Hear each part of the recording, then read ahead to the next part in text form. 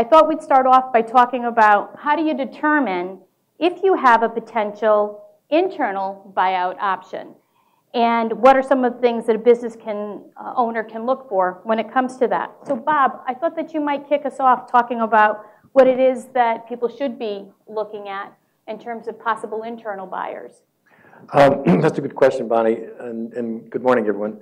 Uh, I, guess I always look at the, you know this word culture, which you you uh, referenced several times in your presentation, Chuck, which was terrific, by the way. Thank you. Um, and and and yeah, culture, I think, is one of those kind of uh, squishy, touchy-feely terms, but it's really important to identify how you run your business, um, what your what your own leadership style is, because that style impacts everyone else in the company. And so, if you tend to be more autocratic, then people are probably looking for a lot more direction.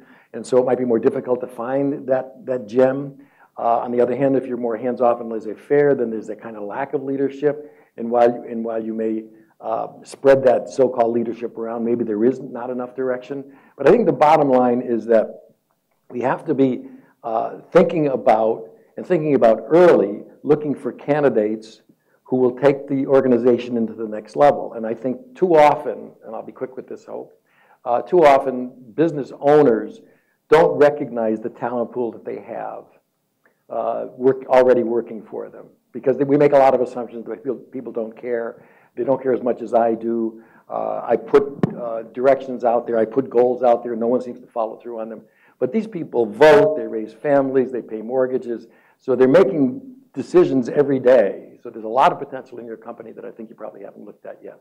And I won't, I won't go into more detail at this point, but that's I, I think there's a lot of people right there, right now, that you're not recognizing. Just have to take the lid off.